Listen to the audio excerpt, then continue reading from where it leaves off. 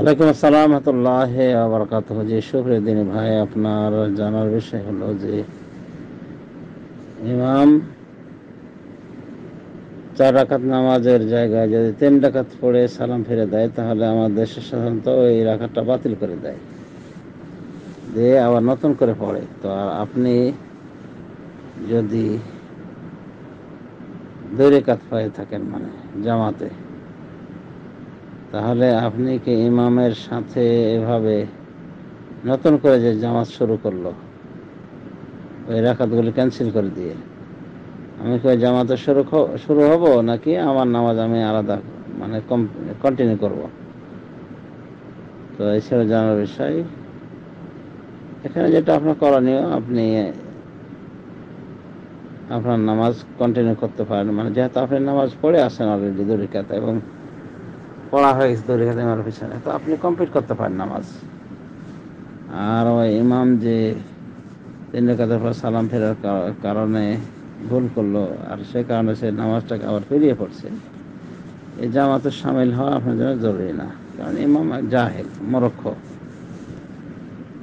যদিও হানাফি মাঝাবে এভাবে চলে আসছে আমার, কিন্তু বেদরিল আমার এটা, কোনো দলিল নাই। যে নামাজ বাতিল করে দিয়ে আবার নতুন করে পড়বে। তিন রেখা যায়, সালাম ফেরত কী হয়েছে? মূর্খটা ইচ্ছা করলে সে কী করতো?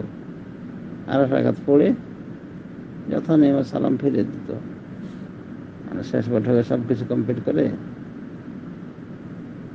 দানামে সালাম ফেরার আগে দোয়া, নির্দিষ্ট দোয়া, জিকির যেগুলো আছে সেগুলো কমপ্লিট করে সহজদার দিবে। সহজ দিয়ে দানামে সালাম ফিরে দেবে দুইটা সহজ দিয়ে দানামে সালাম ফিরে দিলে যথেষ্ট হয়ে গেল নামাজ। কিন্তু তিন রেখাতের জায়গায় সালাম ভুল করে দিয়েছে, এখন পুরো নামাজটা ঘুরিয়ে পড়ে। এগুলো মূর্খদের কাজ।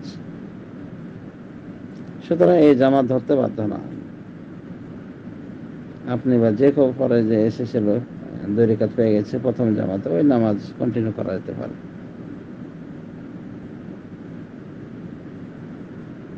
দ্বিতীয় জামাতে শরীর খাওয়া জরুরি না। দ্বিতীয়বার যে জামাত নতুন করে করছে, ওটাতে শরীর খাওয়া জরুরি না। করে বুঝতে পেরেছে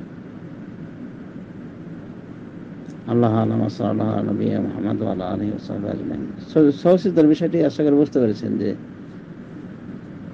ইমামের যে তিন ডাকাতের জায়গায় মানে চার ডাকাতের জায়গায় তিন ডাকাত পড়ে যদি সালাম ফিরে দেয়, তাহলে এটা তার ভুল হয়েছে।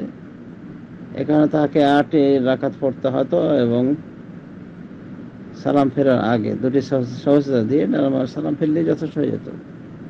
কিন্তু এটা করে না সাধারণত, আবার নতুন করে নামাজ ফিরিয়ে পড়ে।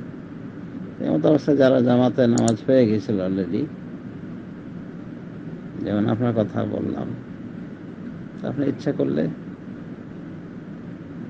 নামাজ কমপ্লিট করতে পারবেন একাকি। যেহেতু শুরু করেছেন জামাতে জামাতে যদি নামাজ শুরু করার পরে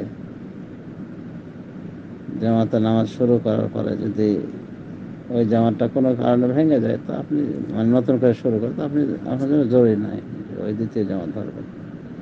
আর দ্বিতীয় জামাত যদি আপনি ধরেন, সেটাও না যায় হবে, এমন নাই। কিন্তু প্রয়োজন নাই। ওরা নতুন করে জামাত করেছে এটা তাদের অজ্ঞতা ছিল। তো আপনার যদি জ্ঞান থাকে, তাহলে আপনি ওটা করতে বাধ্য নন। যেহেতু আপনার জানা আছে মশালা আশা করি উত্তর পেয়েছে বারো কল্লা